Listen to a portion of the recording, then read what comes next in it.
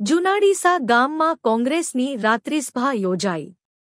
જુનાડીસા ગામમાં કોંગ્રેસના ઉમેદવાર ગેનીબેન પટેલની જાહેરસભા યોજાવામાં આવી હતી. આ સભામાં હજારો લોકો ઉમટી પડ્યા હતા. બનાસની બેન ગેનીબેનના સૂત્રો સાથે લોકોએ ગેનીબેન જાહેર મંચ ઉપરથી સમર્થન જાહેર કર્યું હતું. બનાસકાંઠાની બેન ગેનીબેનનું મામેરું લેવા જુનાડીસા ગામના લોકોએ મામેરું આપીને બહુમતીથી જીતાડશે અને બનાસની બેન માટે જુનાડીસા ગામમાંથી આ સભામાં મોટી સંખ્યામાં લોકો ઉમટી પડ્યા હતા હિન્દુ મુસ્લિમ સમાજના. આગેવાનો ગામના નામી અનામી લોકોએ આ સભામાં હાજર રહી બનાસની બેન ગેનીબેન માટે મામેરું.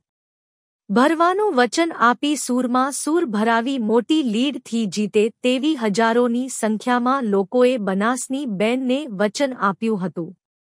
એ પણ વચ્ચે વિધાન રાખે એટલે મોરચાનું થાય, વચ્ચે દામીન હોય એનું. ભાઈ રમેશભાઈ. ડાયરેક્ટ તો માફી આવે. બીજાને વાયા વાયા ભરાઈ દે. આમાં શું છે?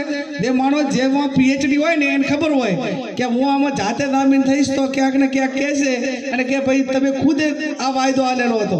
પણ ઓલા તો બીજાને વાયદો અને બીજાના મારફત કમિટમેન્ટ કરેલું હોય, એટલે ફરી દાવામાં વાંધો ના હોય ને એટલે આ પ્રકારનું જ્યારે રાજનીતિ આ સ્તરે જઈ રહી છે ત્યારે મારી આપ સૌને બે હાથ જોડીને વિનંતી છે કે આવતીકાલે સમગ્ર બનાસકાંઠાનો ક્ષત્રિય સમાજ એ ડીસા મુકામે વંદના પાર્ટી પ્લોટમાં ભેગો થઈ અને તમારી બેન, બનાસની બેન જ્ઞાનીબેન ઠાકોરને જાહેર સમર્થન આપવાનો છે. ત્યારે આપ સૌ પણ ત્યાં શક્તિસિંહ ગોહિલના હાથ મજબૂત થાય અને એટલા માટે આપ સૌ ત્યાં પધારવા માટે જાગીરદાર સમાજ વતી હું પણ આમંત્રણ આપું છું.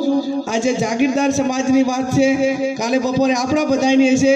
જાગીરદાર સમાજ કાયમી આપણે હાથે રહ્યો હોય, ત્યારે એ હાકલ કરતા હોય, એ આપણાને ભેગા રાખવા માટેની વાત કરતા હોય, તો આપણે બધા છત્રીસે કોમે જાગીરદાર સમાજને સાથ સહકાર આપી અને એ નિર્ણય લે, એની અંદર આપણે પણ બધાએ સામેલ